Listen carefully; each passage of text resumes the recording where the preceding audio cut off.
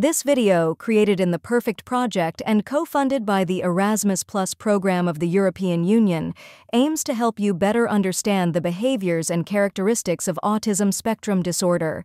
The basic characteristics that define autism are communication difficulties, difficulties in social interaction, difficulties in flexible thinking and behavior, sensory issues. Let's understand some of the difficulties that may be experienced by a person on the autistic spectrum. Communication difficulties may include no spoken language, appearing withdrawn. Echolalia. They may repeat others' words or sentences. They might repeat the words of familiar people, parents, teachers, or they might repeat sentences from their favorite video.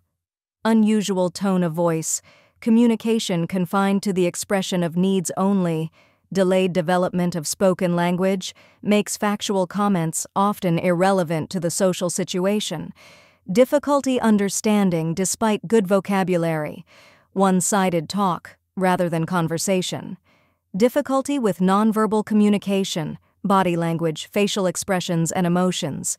Years of research has highlighted some social interaction difficulties, which may include acting in a way that appears to lack empathy, limited eye contact, avoiding touch, being in their own world, inappropriately cuddling others, appearing not to know how to initiate interaction, doing what others tell them to do without understanding possible consequences, appearing not to understand the unwritten social rules.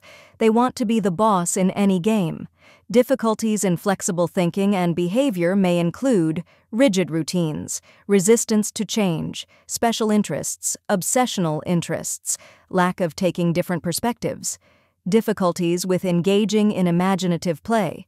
People with autism can be hyper or hyposensitive to sound, difficulties in filtering sound, touch, sensitivity to a certain material, taste, possibly a heightened sense of taste for sweet bitter, smell, may be overpowered by different types of smell, sight, may have hypersensitivity to light, difficulties with the vestibular system, contributing to the sense of balance and spatial orientation for the purpose of coordinating movement with balance, proprioception, difficulties with the sense of the relative position of parts of the body and how much force to use when holding, pushing, pulling, or lifting objects.